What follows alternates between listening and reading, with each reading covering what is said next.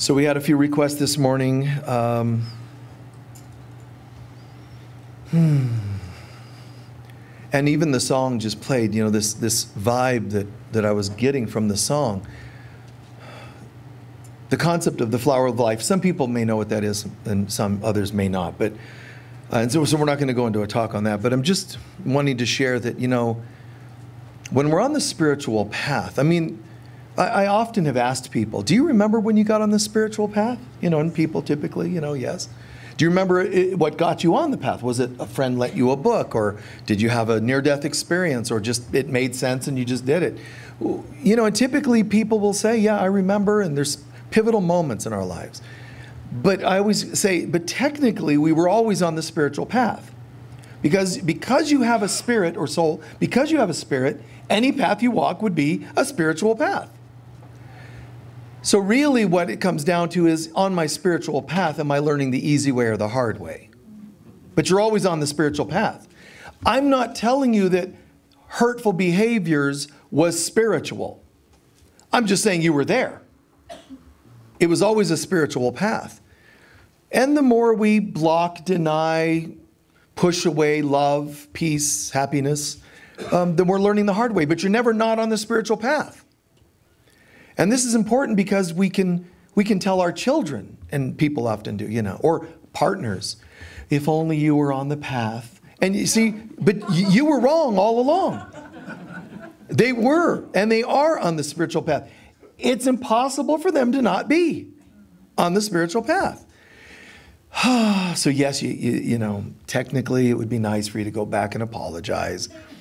I mean, it, you know, if you can afford that in here. Uh, hey, listen, you know, and even if they're passed on, hey, listen. Um, or, you know, uh, no. hey, listen, uh, my bad. I was kind of assuming you were not on the spiritual path and so on, you know. And, and you can say delicately, it's called bridging. You can say gently, delicately, tactfully. You know, funny thing happened. Um, I had this insight that I, I sometimes say, you know, I wish you were on the path and so on and so on and so on. But you know what, honey? I was wrong. You know, I was mistaken. I, you are on the path. I guess what I meant to say was, I wish you were on my path. That's true. There's an egotist inside of me that wished you were on my path. But, um, but you are on the path, and it's okay. I, will be honest, though, honey, and tell you, I, I was partly well intended there because Sometimes it looks like you're struggling, so that's why I was wishing you were on the path. But we all struggle. So even that wasn't going to protect you from your struggles. You know, just you say things more tactfully. And um, there are obviously lots of variations of the spiritual path. And people will say, you know, which one is the right one? Well, technically, I think it's smarter, wiser to say it feels like they're all They've all got something going with, for them. And they also get twisted. You know, so that happens. But, uh, but there's a spiritual path, and it's, the, it's how sincere you are determines what's going to happen on your spiritual path. The sincerity, the clarity, the, you know, the, the true vibe inside. Because there are people that obviously pretend to be on the spiritual path and they're not at all. You know, they, they speak it and so on. But there's a distinction between the religious path, let's be clear about that, and the spiritual path. It's a very, very clear distinction. One of them is more like just ceremony obligation, you know, oh, it's Sunday, I have to go to church, one of those kinds of things. Or I'm this religion, so we don't do this or that. Well, you probably don't follow any of the other principles. Why throw that one in there? You know, I mean, you can't just, it's called convenient religion, you know. I pick and choose what I like, you know, I can get away with it or whatever. Spirituality doesn't give you that kind of leeway. So even religion allows a little bit of horizontal movement. When you're in, on the spiritual path, hypocrisy doesn't really work very well. Because if you're on the religious path, even the religion, now there's other paths, political path, you know, I mean, that's a path. So I'm not saying that's a spiritual path. I'm saying there are different paths in life. And some people are, you know, a grouping of politics, academics, and so on. But at the end of the day, a spiritual path is the one that's vertical. Even religious paths and everything else are horizontal. That means I'm choosing a little of this religion, now I'm not. I'm choosing this politic and this now I'm not. Everything just moves around horizontally. This is the sleeping world, this is the delusional world, this is the illusionary world, etc. And everybody's doing things on it. And they actually think they're getting somewhere. Oh, look, I got married, horizontal. Oh, look, I had kids, horizontal. Oh, look, I'm not married, horizontal. Oh, I'm in a new religion. It's all, this world is just horizontal, which is a good metaphor for asleep. When we wake up, that something happens and boom. You know, it's like when you have a middle of the night inspiration, boom, it's like you have an awakening. And that's what it's like to get on the spiritual path. But even on the spiritual path, there's hypocrisy, of course, because there's humans. But there's less allowed hypocrisy because if you're on any kind of horizontal path, you're going to find that um, you can still do naughty things and you're going to be living karma. And with the karma will come reincarnation. You can even be a fundamentalist of some religion, not believe in reincarnation. Doesn't matter, you're coming back. you know, you're going to feel a rude awakening, but oh, you're serious? I didn't know that existed. Well, we have another alternative hell. You know, um, if you want to believe in hell enough, we have a beautiful center you can go and hang out in. Um, and then eventually you're going to go, Can I just reincarnate? Yes. And then you go and reincarnate. But this, this is part of the illusion. We, we make mistakes and we have to get them cleared. But the spiritual path, one of the seemingly unfair pieces to the spiritual path is it, everything becomes now. So you're not given as much room to mess around. It's not like they can say, you know, you did some really hurtful things, but you know, a few lifetimes from now, and you go, oh, okay, long payment plan. Spirituality means now. Whatever we do, we tend to pay for fairly quickly. And I remember that as a kid going, why does eh, what's, what's up with this? Friends all do all kinds of things. If I do anything, I get caught. And one day, you know, it was the voice was clear. It's called instant karma. And instant karma is to keep you debt free. Debt free means you don't have to come back and pay debts. So you don't have to reincarnate. And there's lots of people um, on YouTube, Facebook groups that are watching us here live uh, and online. You know, and they're saying things like, I don't want to come back. Oh, that'll help. you know, okay, I wish I had your bank account. Let's see what happened, you know. Uh, it doesn't, it's not like you just get things you want like that. You, you don't, you have to change the consciousness. You want to be prosperous, you don't take somebody's bank account, you develop that level of consciousness. And if it's a wealthy one, let's say. And it's the same with uh, instant karma. You, you know, I don't want to come back, I'm tired of this world. And being tired of this world doesn't mean you don't come back. People have ailments they're tired of, tired of. And they still have the ailment. So you, you can't wish yourself into a different reality. You have to become the different reality. And that, unfortunately, for some, it's work. You have to, you know, be responsible. You have to show up. You got to do your, your step work and whatever kind of work on your spiritual path. So religion told us if we just become part of the religion, we don't have to do the work. We just get, you know, sort of escorted to a higher level of consciousness. Uh, the you know, new millennium, uh, the ascension, or whatever other traditional terms you want to use for it. But it just doesn't work that way. It, we have to become these things.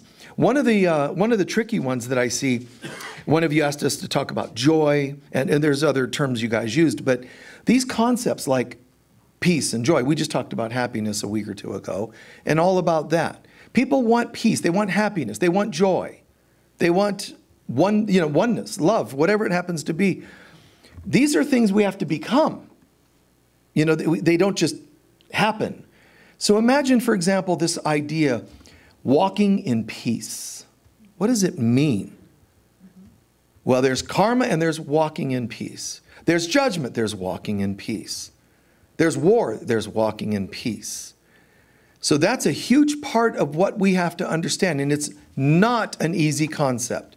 Because some people actually think to walk in peace, you, um, you only talk in a whisper, you only wear white.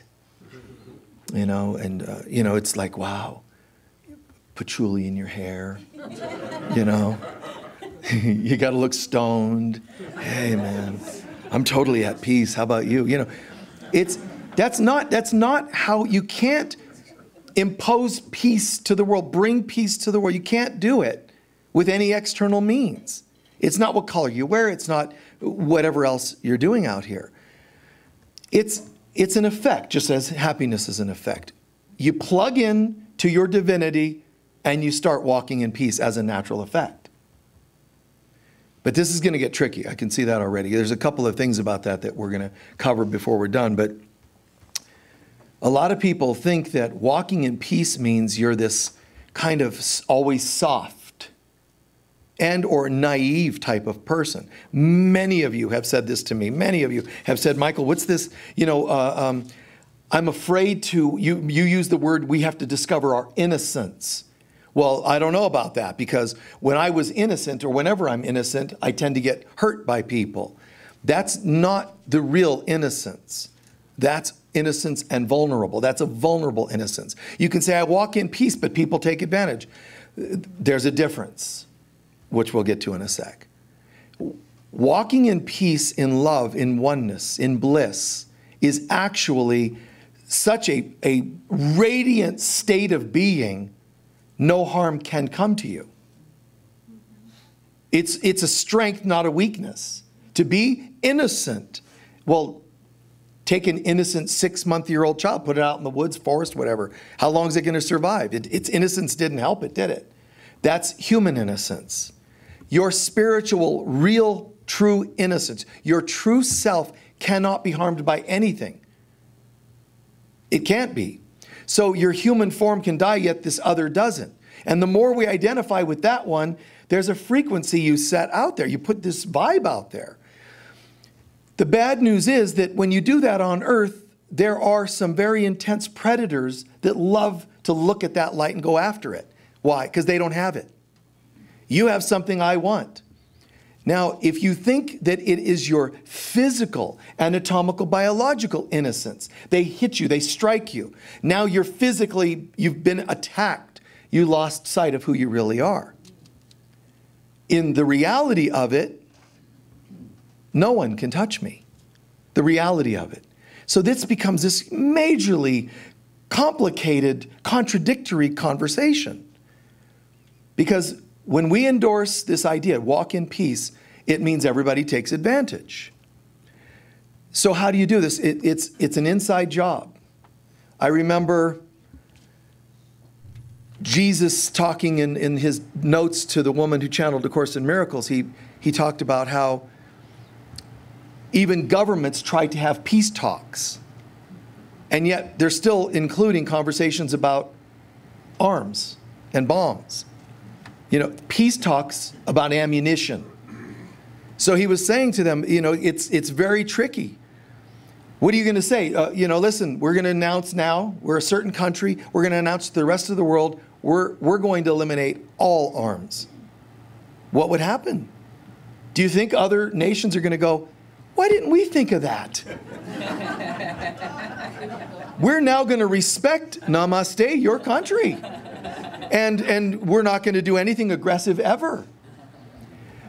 Oh my God, it's, it's, it's that complicated because if one of you suddenly was thrust into power, you know, as a president or whatever else they have on this planet, uh, you would have that complicated question and answer. Do we, do we, do we play out the innocence? Do we really go that far? Can we say we're a country that's going to walk in peace? And could you live it? The first time they attack, you know what's going to happen? People are going to say, Why did you give up our arms? We need it now. You know, that's this world. So I don't think you're going to have as easy a time convincing other people how to walk in peace as it would be to do it yourself. Just to walk in peace. Um, this is a very, very advanced concept, so I'm going to try to finish it soon and move on to simpler things. And I'm not judging in, in any way your minds. I'm saying this planet has a really hard time understanding this. So here goes. When I walk in peace, a peace pilgrim actually was big on this too, this woman. But when I walk in peace, I set out a frequency that cannot attract aggression. I'm innocent. I am, my greatest defense is my state of mind. It's not preparing for attack from others. the more I walk in a state of peaceful mind, there's no frequencies that are attracted to it because I'm just holding this tone. It's this vibration. Now, again, this is very challenging because it's almost impossible for a human being to understand this. But what happens is when people attack you, they're sensing your false innocence, naivete. They're sensing aggressions in you. It's like Yogananda said if people really understood this, he said, a mosquito would not even bite you. The only reason even a mosquito can bite you is because it senses something there that's off, that's aggressive. You see what I'm saying? A dog attacks because it senses a threat. Well, why would it sense a threat? I'm very nice. My God, look at me. I'm like St. Francis. I go in my backyard. Hello, birds. I feed them, you know, my food that I could have eaten.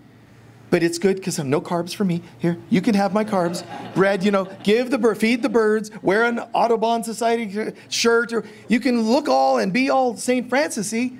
And yet, you know, you walk by some shrub and then there's this, you know, and some snake bites you. Why would you do that? It goes, because I'm a snake. This is what we do. If I had nothing that felt threatening to the snake, it probably wouldn't have bit.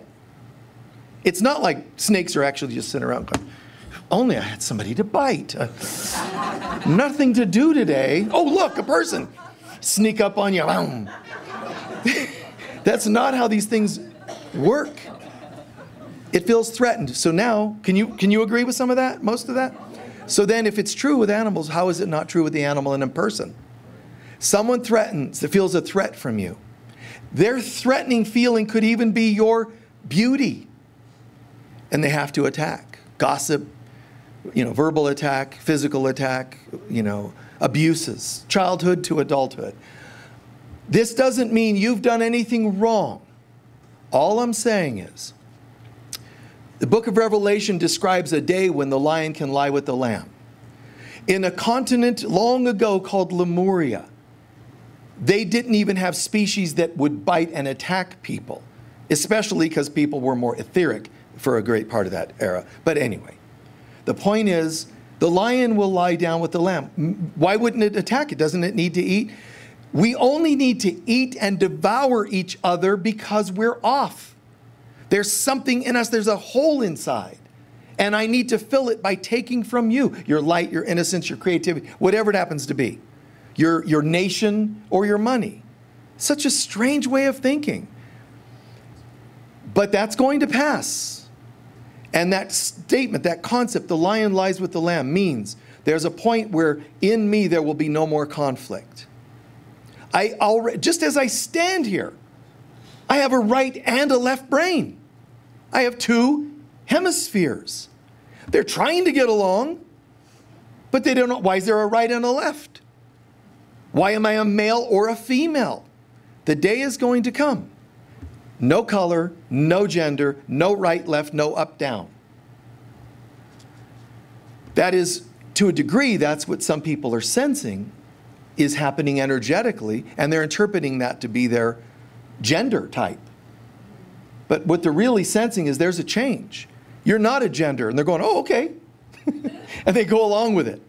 But they're not understanding it's talking about in here. It's not the outside adjustments we need to make, it's the internal, obviously, the inside adjustments we need to make. Because the world's calling for this. So you know, we can walk the spiritual path. We can say, oh, I walk in peace. I even have a shirt, walk in peace. Um, but I cheat on my partner. Take it off. You know, uh, see, that's hypocrisy. And some people get really weird about when I use that word, hypocrisy. Okay, call it contradiction, because that's what we mean by hypocrisy. You're saying one thing, you're doing another. You're, you're, you're, you're claiming, I want this vibe, I want to walk in peace, man, I just want to live on the land, and so on. But in us, there's a belief that we're separate from God, which means we send out a frequency that we're flawed. If you walk in peace, you have to walk in innocence.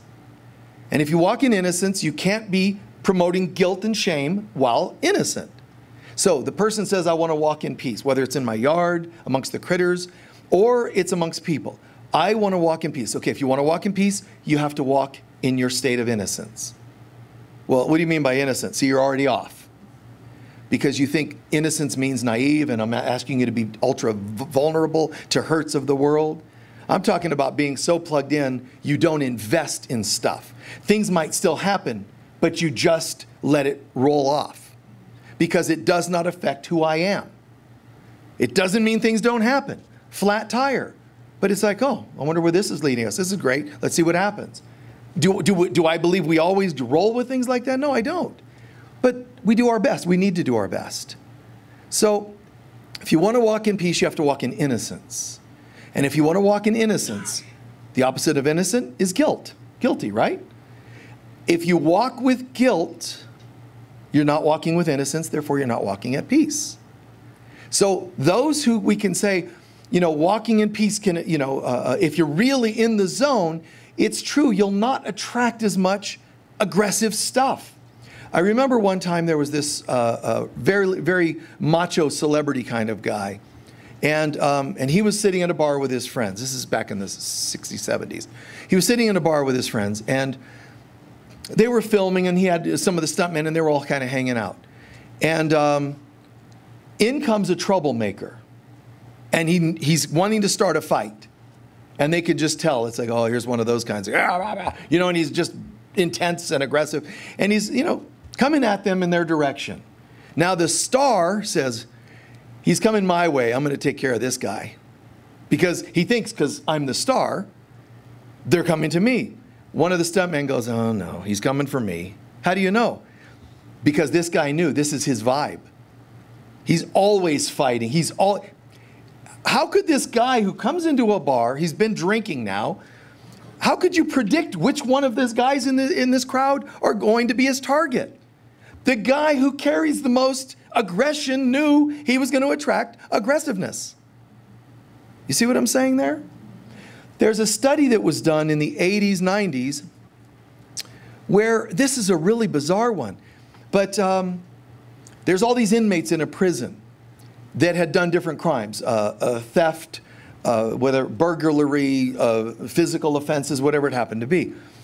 And they were asked to stay in the upper um, balcony of the prison and observe people, civilians from outside, who were going to go and have lunch and just hang out down in the lower area. And they said, just, you know, observe and make notes and see what, see what you think, you know. And so the civilians are down there doing their things, the inmates are doing their thing. They interviewed the inmates later. Did, did anybody down there draw your attention? You know, yeah, that, that one woman over there and that one man, you know, different, right? Different responses from each of them. Do you know that when they checked all this out, the vast majority of the time, the people that were being observed had suffered from crimes that the inmates did. So the inmates were attracted to the people that had suffered from their kinds of violations. So either you had coincidentally a hugely psychic prison, or it tells us people know. They, they can sense you have an issue that attracts me and I'm a mugger. You have an issue that attracts me and I'm a purse thief, snatcher, or whatever. It matched. Now, that could be really like aha, wow to you in a positive way, or that could disturb you. Doesn't matter, it happened. People can see it, they can see you coming from a mile away. On an unconscious level, everybody has this subconscious self. It's not just psychics. On an unconscious level, someone woke up this morning and decided they're going to come and find you. Sorry to say.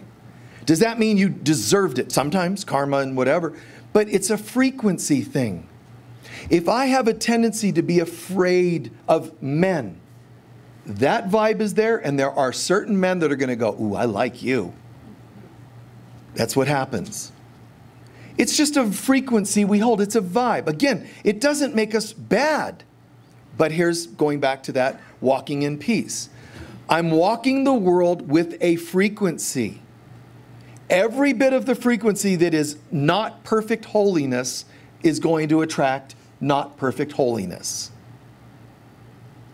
And then we can go, oh, well, forget it then. I mean, I know I can't walk with perfect holiness all the time. I might as well give it because that means all kinds of horrible things. No, it's going to be normal life.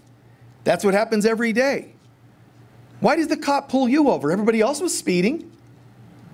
Right? You know, it's like kind of funny. I remember one time uh, on tour in the mid 90s, we're all, you know, flying up that one, you know, freeway they've got that goes the whole distance on the East Coast.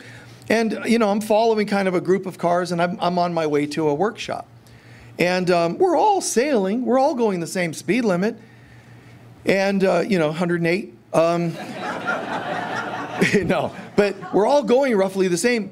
And just as we come over a hill, now this is interesting. I'm just in my innocence, like you're following the other cars. They're like all aggressive, and I'm just moving with.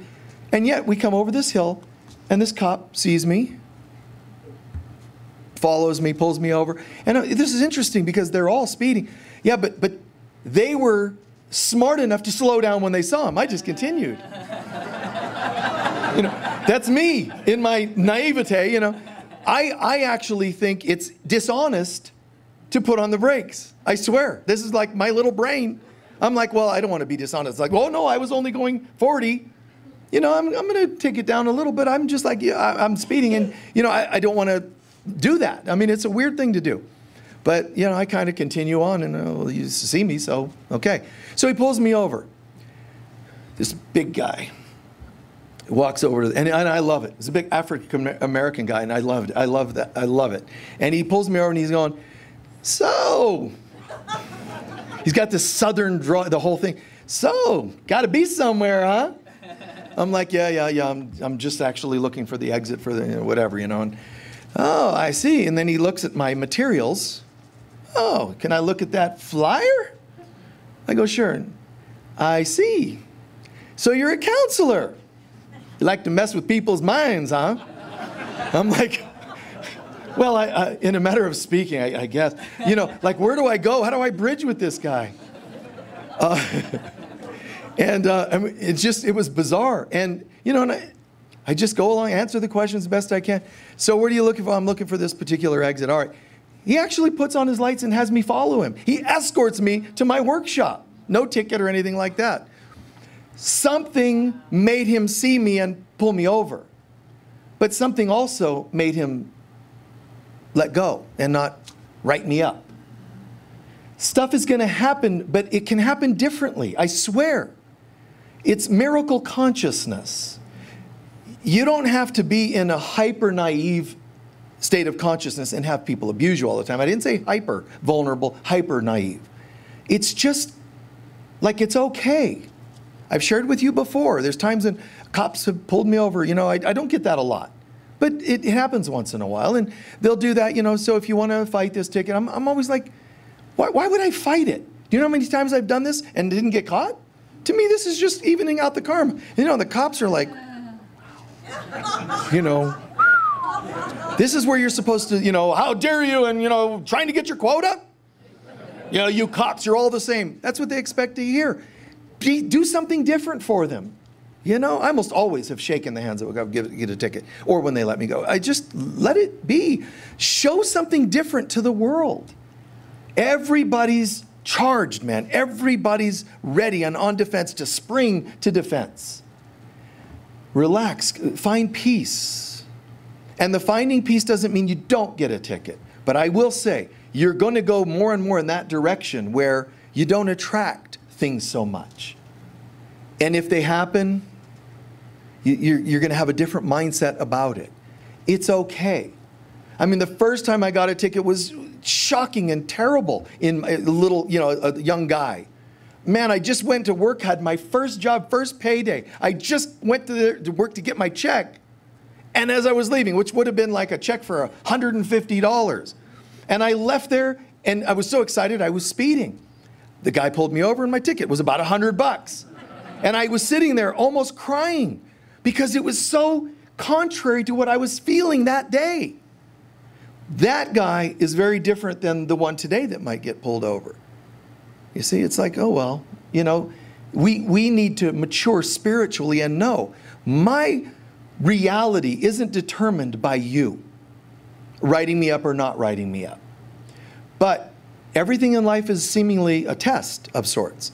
A test meaning the world, the universe is saying, How are you today? Triggered and alone. okay. And so it is. And that's what you'll create, that's how you'll react. To confirm to everybody, well, the universe asks, so I'm just letting you all know. Triggered and alone. Angry, sad, lonely, whatever it happens to be. That's your frequency.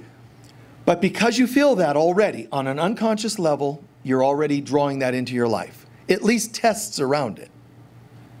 And then when you react, you're either confirming it or denying it in a healthy way. When you react to it, you're confirming, I, I do feel lonely. For example, a friend of mine, let's say, is getting married. And, um, and I have an argument with them the week before. Maybe deep down inside, I'm angry that they're happily getting married and I do, I'm not. So it leaks out. But when it blew up into an argument, I should have caught on more quickly and bounced back. Okay?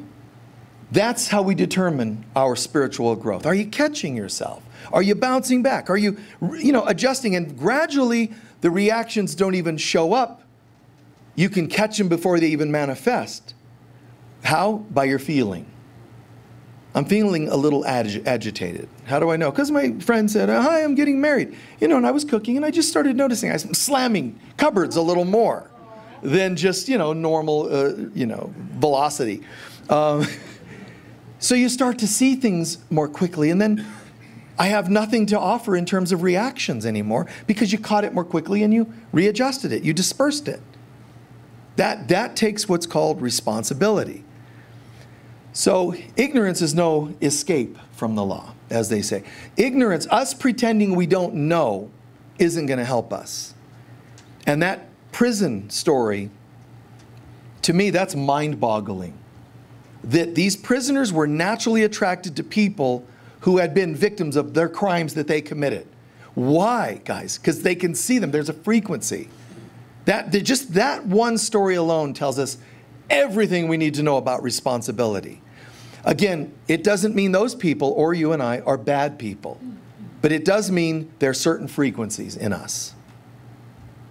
Okay? There's just certain vibes. We put it out there and it comes back one way or the other. So we heal. And we can heal uh, the easy way or the hard way. We can heal through long payment plan if you want to, you know, live in that kind of lifestyle. There are people, there are groups. See, if you're on the spiritual path, you're not given a lot of room this way, left and right. So you do something and it comes back fairly quickly, instant karma. Complain about it. That'll help. You know what you can do? Lay down, go horizontal, and just say, I don't want to be awake. But once you wake up, you really can't get away with that either. But you can try. You can, I don't want to know anything about anything. There isn't instant karma for politicians. They're on the long payment plan. You know, because they're not expected, by the way, to be of the highest integrity. We think that they're going to be. That world is deal making and weirdness, not for everybody, but all too often. You know, it's, it's so strange.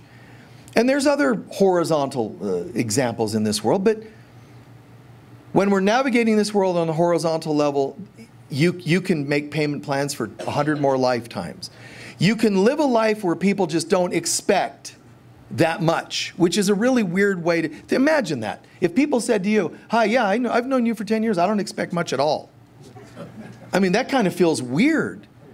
But that's the life humans live in. They like to hide to where uh, they don't want to have any responsibility in karma, and they want to think if I die and come back and not remember this, I don't have to hold myself responsible. But you're still coming back. So, the opposite of walking in peace is walking in guilt and shame. Guilt from what? Guilt's about judgments I have on myself or on you. I'm either walking in peace or I'm walking in guilt. When I'm walking in guilt, it's my judgments on you or myself that are setting the guilt vibration out there. When people see that guilt vibration, a cop pulls you over. Because why? Because you were guilty. See? Guilty. Or you know, partnership issues and being attacked for cheating when you're not cheating. Well, why, where's this coming from? There's just a vibe. They have their issues, the other people. But there's a vibe that they're sensing in you. Your vibe might not be that you did those naughty acts, but it could be that you're afraid of being judged when you didn't do anything. And so that could be the frequency you put out there. So walking in peace to me, it's, oh, I have no judgments left, you can say to yourself. I, I choose not to walk in the karmic effects of my judgments. Think about that line. Because when you're walking, you are your own little cause and effect universe. And if I'm not putting out judgments, there's no like or similar reactions. If I'm walking in, and, and the best way to know that you're walking in innocence, which creates walking in peace, is to say, God, you show me how to see myself and others. I want to see myself through your eyes, not through my opinions, but through your eyes. And all of a sudden, you know, races and genders and whatever start falling away. And it's like, wow, look how similar that is to an infant, right? Not just to judgments on others, because infants aren't sitting around, strollers and whatever else, you know, judging each other uh, or, or themselves. Let, let me say this one thing. Not once in history, if you took a baby in a diaper and all, you took this baby if that baby could live a thousand years as a baby, the way it is, 10,000 years, not once in its mind will it say, I got a little bit of cellulite on me. Not once. It will never notice its body. And yet it's the strangest thing because we're not infants, we're, we're adults, we're, we're maturing and we're intelligent. we should be as intelligent as they are. Because as we grow older, oh my God, every little thing, you know, of the body becomes a thing to judge ourselves for. You know, my sister, you know, doesn't have this that I have, and you know, oh my God, you know, how did she end up better shape? Or my friend and friends that five years older, and yet she doesn't look. All this stuff, and the baby's not sitting there doing that. It could live ten thousand years as a baby, and then not once will it do that. We can't go ten days, let alone ten thousand years. So we have judgments on others, but also on ourselves, our, what we call flaws. Now, you believe in cause and effect, so if I have judgments about myself and my flaws, do you understand that it's going to bring something? I'm not saying I consciously even know that I have these thoughts, but it's going to bring something my direction, whatever that happens to be. And it, and it, it is a hard thing. It, of course, you know, people, it feels hurtful. People are going to uh, say things, you know, you walk in the store and somebody giggles about the, what you, how you're dressed. But, you know, go infant for a moment. You, you don't notice or you don't care, right? Because of your true, your innocence. It's when I already judge myself as being too this, too that, not enough this, not enough that, that when somebody whispers, Did you see them? I already go into that place of, oh, I bet they're talking about, you know, and whatever it happens to be. Now, that's not walking in peace. So, walking in peace is a, an effect of connecting with God. But instead of just saying connecting with God, I want to say of connecting with ourselves and others without a veil of guilt. Make sense? Innocence, opposite of guilt. Just think of it that way. Guilty innocence, that, that phrase that we often hear. So, the world is shifting at, at an incredible pace, and it looks like it's getting worse. People aren't going to take kindly to you walking in peace. They're wanting reactions. Uh, there was a guy um, just a few days ago, I saw uh, Judy had one of her estate sales, and I went uh, to volunteer, and uh, this guy walks up to me. So, did you hear the news? And I'm like, that could be anything. I don't know. You know, uh, no. Sky is falling? I don't know. You know, whatever. And he goes, Oh, yeah, it was announced. There's a plot. It was on the news last night. You didn't see it? No. You, you didn't see it? There's a plot. Did you know? The Republicans, he says, they're doing this and this. And I say, I, I'm, I didn't see any of that. I, I don't watch the news. The guy was speech, like I could hear him like gasping, like, you, you what? I, I've, I've never watched the news and I've never read a, a newspaper either. You know, and the dude's like, you know, this is a big one, Elizabeth. You know, he's doing like this, like, like, coming to join you, honey. Like this guy looked like he was gonna faint. And I'm like, you, you know, you all right? I mean, I'm looking intently at his face, the, the strange reactions. And, and, and he goes, oh, all right, oh, then let me tell you what's happening. I'm like, okay, go. You, you have 10 seconds, you know, and whatever he said, I don't know, don't care. And no offense to you, because you might care a lot about those things. But, you know, when he was done, when he was done, he, he, he didn't judge me for not being in that world of his.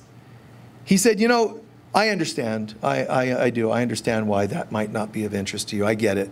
So he responded to my not reacting to his reaction.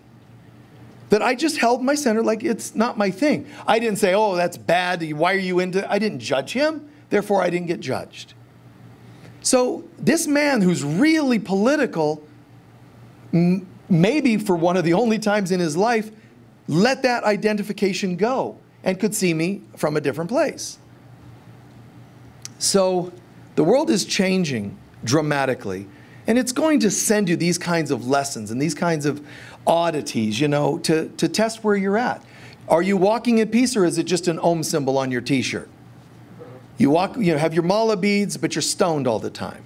You have your t-shirt Om symbol, but you cheat on your partner. All of these things are worth looking at. I'm not saying because you should shame and guilt yourself. I'm saying, how much are you in alignment versus hypocritical? Now it gets very tricky because I want to live so in alignment, I try not to do anything that would be hypocritical. Now it's becoming a bit serious. It should really be fairly organic. I'm not interested in this. Not saying this, doing that, because that's duality. So instead, I'm saying this and I'm doing this, and sometimes I slip, and that's another way of saying it. And when I slip, I find that I don't end up spinning way out here. I kind of right in here, a little out to the outside, and I tend to draw back again. That's probably the best definition of someone truly on the spiritual path. Just, we're chanting. So just beautiful, right? You're allowed, it's okay, you're allowed to slip. One of the apostles says, You know, isn't it funny that the things that are unhealthy for me are the things I'm most attracted to? And the things I know I shouldn't engage in, you know, I, th those things I know I shouldn't, they draw me. I mean, I end up going that direction. But then there's things I know I should be interested in. And I, I don't do them, I refrain. That's a perfect definition of anybody in the healing path, recovery path. And that's a, what he said there is called responsible. He didn't shame himself. He said, isn't, you know, isn't that funny? And that's a good way to look at it. Because you know and yet you slip. But when he said that, it's like a really responsible person in a 12 step program. I slip and I keep my self observation. So I know what I'm doing and why, and I know my weaknesses and flaws and foibles and you know tendencies, and I, I catch myself and I come back. I don't catch myself, shame myself, force myself to be a certain way. That's being like a monk or a nun in the 1500s. Instead, oops, huh, wow, that was interesting. Wonder what that was about. Mm-hmm. You know, that which I know better, uh, and yet I, I did it anyway kind of seeing it, not judging yourself, and bouncing back. And what that, what that does is it creates a permanent shift in our mind so that we're less likely to do it again. You think forcing yourself to behave is what makes you not make mistakes again. Why, why am I doing the fifth time, you know, marriage with certain kinds of people? Why, why did I marry my mother five times? Or my father 10 times? Why, how did that happen? They didn't look like them. It's, it's a vibe, it's a frequency. And, you know, just drawn to that place. And it is not your destiny to keep doing that. So spirit is just going, how you doing with that? Oh, I'm still doing it. Spinning way over here, way over here. You know, and, and Spirit's like, okay, well, I'm here if you want help. Not asking for help, you keep spinning out. Learning to say, wow, isn't this funny? I mean, I know that I probably shouldn't hang out in bars, being that I'm in recovery for alcohol, yeah, alcohol might, you know, might not be the best place for me. Um, you know, and, and wow, I can see what I'm doing there. This is, this is a way of being like self punishing. By getting in the program, which I thought was a great thing, and then hanging out in bars is actually causing me conflict, which is not God, it's not peace. Now, because I have conflict, it's a frequency, and I'm going to attract problems in my life. Every contradiction, hypocrisy, every contradiction you have, everything that's incongruent is going to draw something to it to fix or match it, whichever.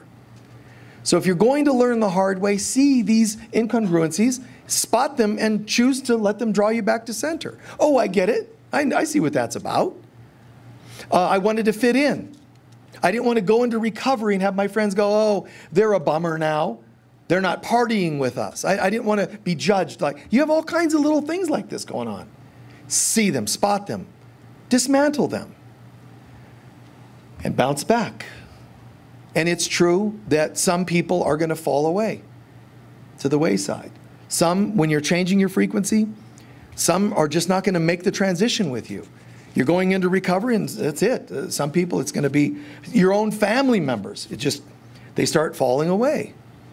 Now, if you're not okay with that, you're going to create some sort of frequency lessons, and you won't like it because it's going to be some sort of harsh hardship.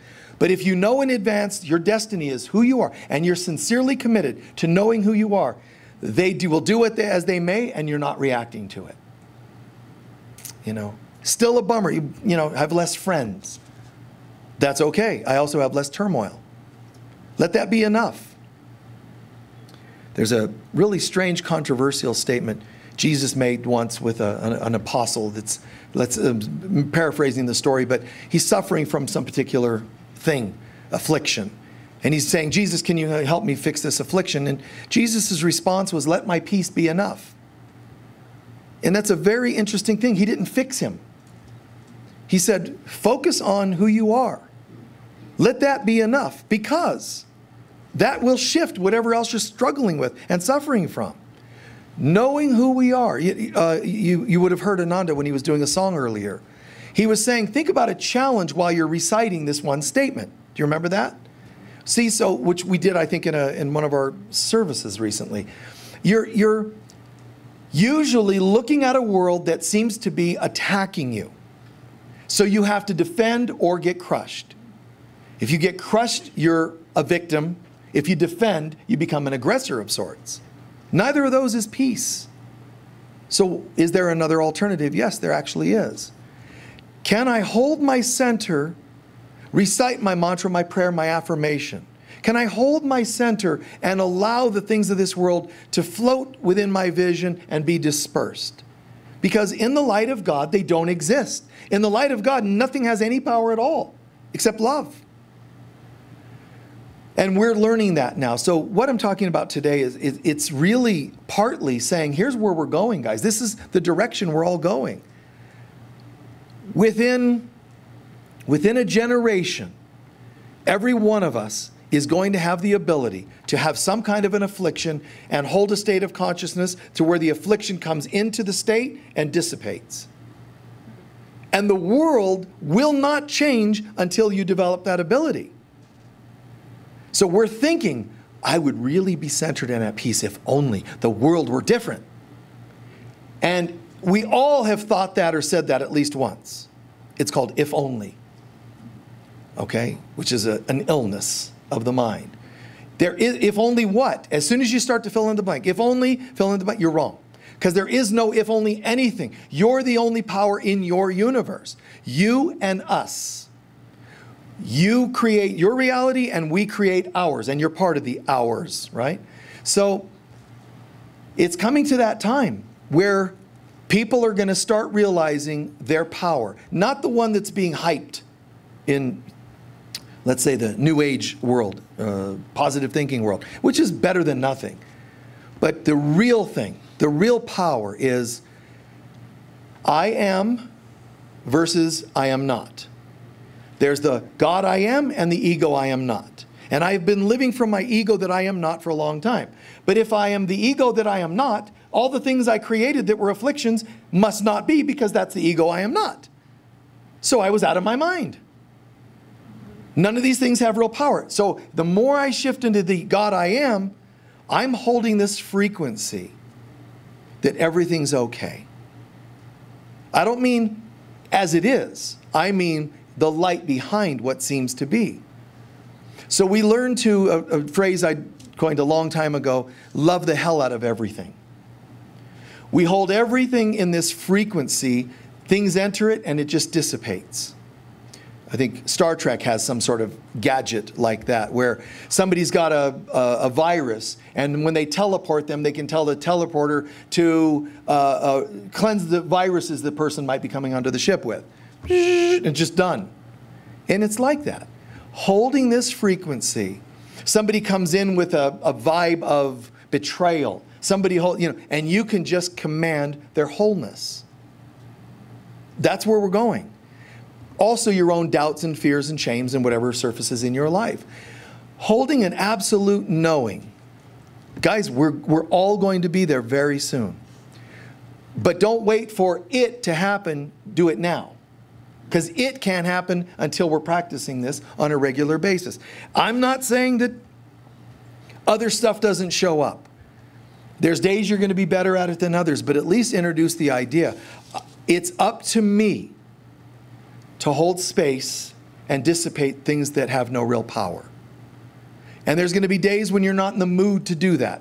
And that's when you call on others to help you through prayer, perhaps. But the world cannot change but through us. You know, so it's it's it's it's now or never. It's like I'm going to get on board. You want to wait around for the world to change or you want to be part of the change. You want to wait around for it to happen, you're actually prolonging the experience. So if you asked yourself, if I had 10 times in my life this week, this month, whatever, where I was drawn off center, how many times of those 10 did I hold presence, let it draw into my space, and dissipate? And most people would say zero out of 10. do I expect you to do 10 out of 10? I don't expect anything. I'm just saying your ratio of happiness and peace, it will be determined on how well you did with that. So I would just ramp it up a little bit. I'm not going to, you know, be a, a, victim of the world I see. So there's these frequencies that I put out. I don't even know that I'm putting them out, and it draws things into my life. But I'm going to take responsibility. Nothing happens by chance. It's impossible. It has to have been somewhere in my consciousness. So at the end of the day, we start to shift as I'm closing now. We start to, to fine tune and shift and say, wow, you can't do enough to create peace. A nation can't say, you will be peaceful now. A mom, dad, children, you'll be peaceful starting now. It's, it doesn't work that way. You can't do enough to make people more peaceful.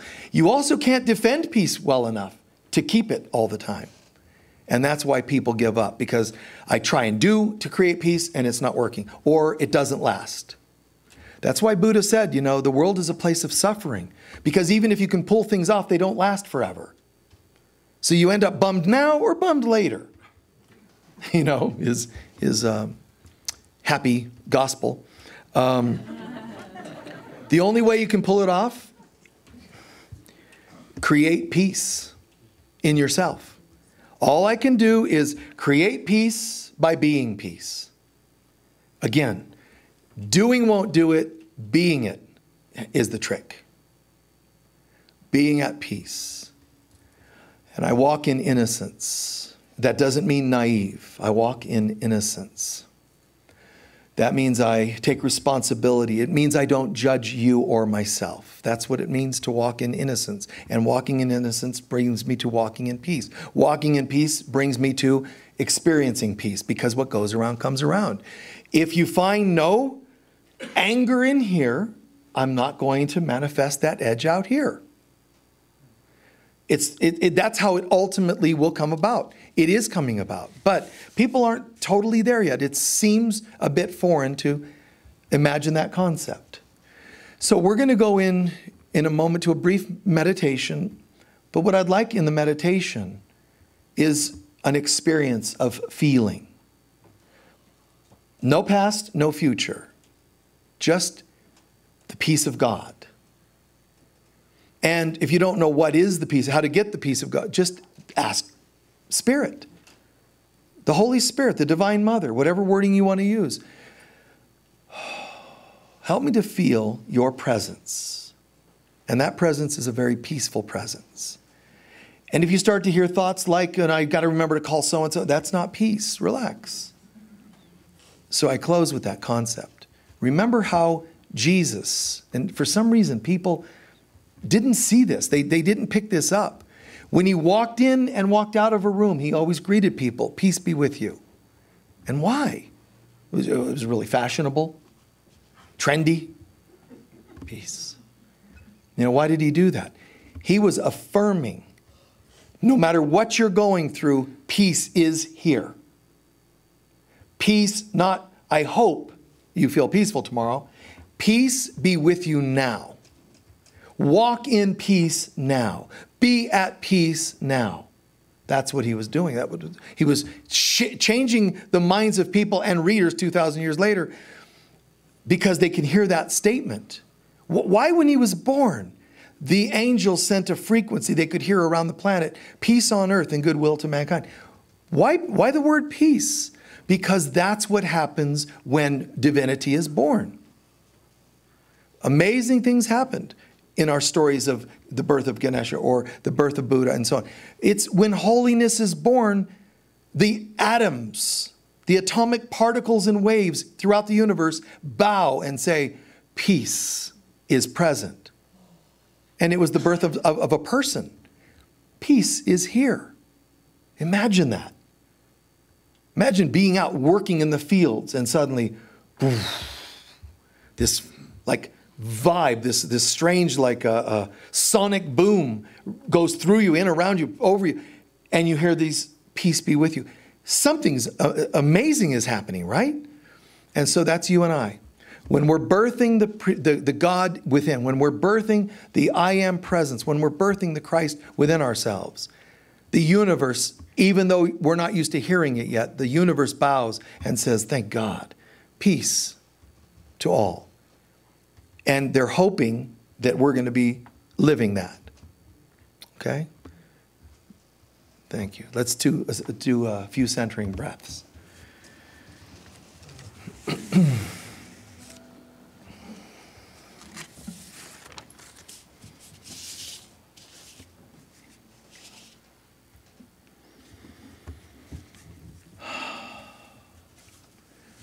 Inhaling, hear the words I am. Exhaling, hear the word relaxed. I am.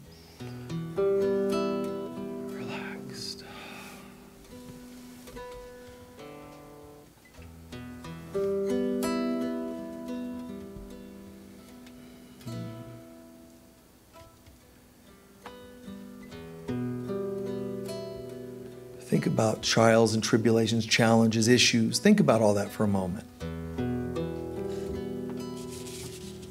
All of those things have a frequency, a sound.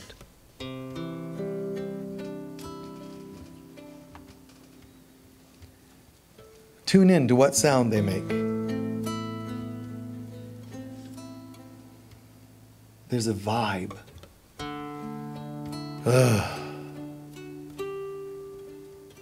Deeply while you're aware of all the stuff, dramas in life. And exhale when you're ready. Breathe in, aware of all that stuff of the world in your life, around you, past, future, current issues. Tune into it. Take a deep breath, thinking about it for a moment. Exhale. One more time. This time, when you exhale, let it make a sound on its way out. Inhale, aware of all this stuff. Ah. Good, good. The chant of fear, hurt, anger. One more time. In. Oh,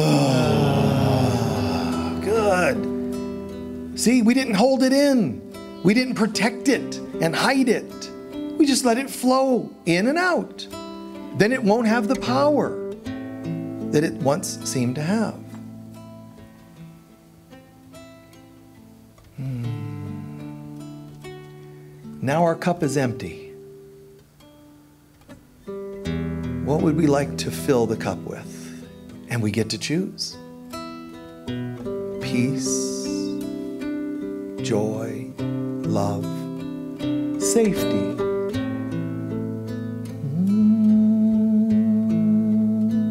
Mm, Tune into that. Nice. If you filled up with peace, joy, with every in breath, and so it is on the out, out on the out breath. Your word, peace, joy, just take your time slowly, fill up with it. It's a frequency, it's a vibe.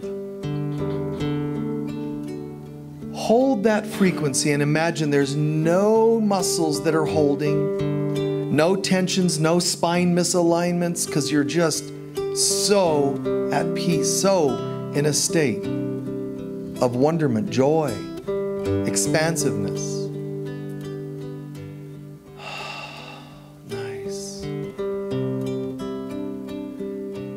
It has a sound, it has a vibration, it has a frequency. Please breathe into that now, deep breath, let it make a sound. Ah, nice. In slowly, wow, peace, joy. Oh, yeah. Nice. It's calm, that sound. That's the sound people should hear when they meet you. Instead of just the head talk. Hi, my name is blah, blah, blah, blah, blah. It's they should hear this sound, this vibe. Just being around you, they get this feeling. And you're allowed to have bad days, of course. But overall, am I getting more and more used to this? Holding this kind of frequency. One more time, breathing into this frequency, this word, peace. Oh.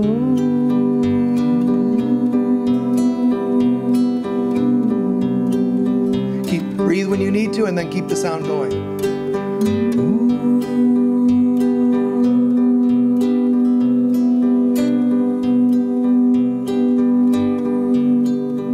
Keep going. Notice that the sound continues.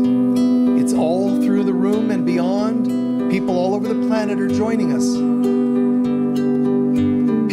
Peace on earth, goodwill to mankind.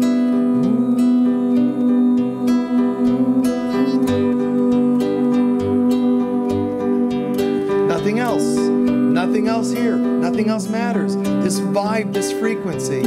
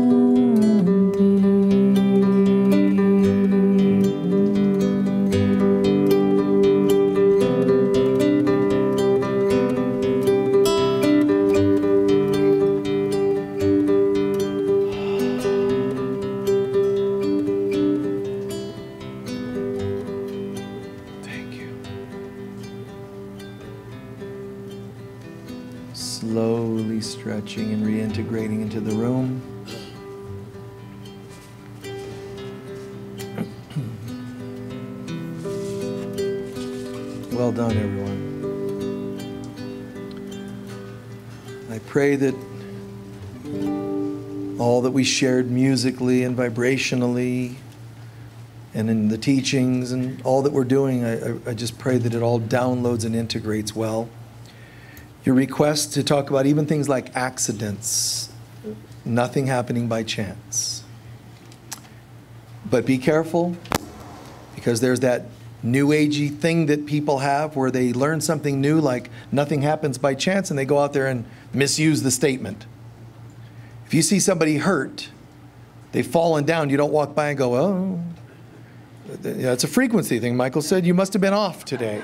That's not, that's not how you change things. That's not how you tear up old contracts, karmic contracts. Love, compassion, grace. You, you help the people. If they knew their value, they may not have, just may not have fallen. When you gave them their value by helping them up, you canceled that statement out.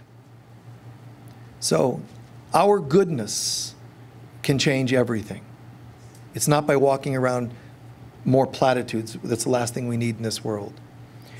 So thank you, and some of your other, you know, joy and so off, so uh, so on, so on. Um, I didn't get to the poetry part, but that's the way it goes. One of you, one of you asked about poetry, um, but thank you, and I want you to remember, please, there are innocent beings and there's innocent victims. You get to choose which one you want to be. I'm an innocent being who walks in pe- peace, or I'm an innocent victim who doesn't have peace because of what you've done to me. You decide which one feels most congruent to your desire. So, God bless. Please stand for our closing. First, centering in gratitude. This place, this space, the message, the sacred reading, our service assistant, our sacred reader, our volunteers, our chaplains, everyone involved here, employees. It's just amazing. Tune into gratitude. The world is changing. There's a lot of places you could be. You could be watching part of the problem, you could be out there attending part of the problem, or you could be here changing consciousness and being part of the solution. So God bless you and thank you for making that healthy choice. Even online, and even if you watch this five years from now. The light of God surrounds us. The love of God enfolds us. The power of God protects us. And the presence of God watches over us. Wherever we go, God is, I am, we are, and so it is. Thank you so much.